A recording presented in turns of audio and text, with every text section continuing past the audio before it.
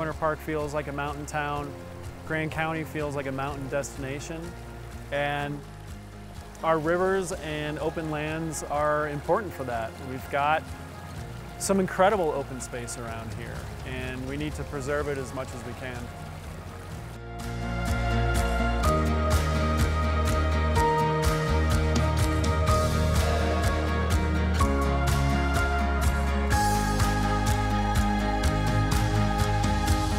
Winter Park's growing leaps and bounds.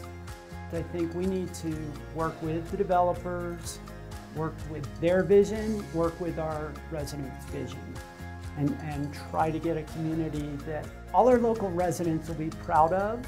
As far as benefits to the community, tourism in the natural environment is huge part of why people want to be in Winter Park, to have close access to use the national forest, to fish on the Fraser River, to see wildlife.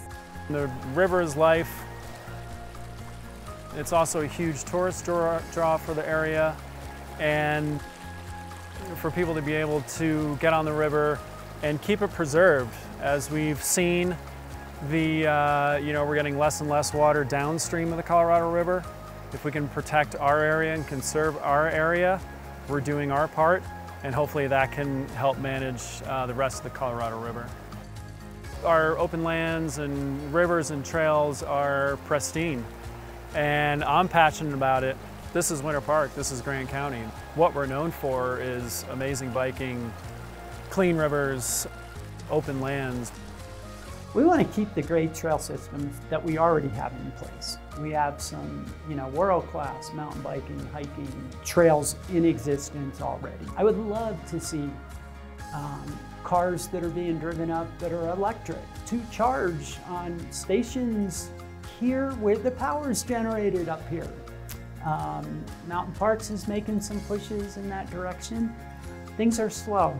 Um, I'm, I'm, optimistic in the next five years some things might happen. We have a great resource in Fraser called The Drop. If you've got a cardboard box, don't put it in the dumpster. Hang on to it till you got a car full of cardboard boxes and drive it down to The Drop and, and it's free. Yeah, The Drop is uh, Fraser's recycling center. It serves all of Grand County. Uh, we accept things like plastic bottles, uh, metal cans, uh, paper products, cardboard boxes. We get people from Hot Sulphur Springs, from Kremmling, from Winter Park, Granby, just all over Grand County really. When the people come through, you know, they're, they're just so happy to have this, this available to them. You know, they, they don't want to throw stuff in garbage. They don't want to fill up landfills. You know, people out here are very conscious of, of that sort of stuff. We hauled off last year about 40 tons of recycling, uh, things like soda bottles, soup cans, uh, newspapers, cardboard boxes, uh, all your basic plastic and, and metal paper recycling. It's really taken off. People really love it. They appreciate it. You know, we stay busy.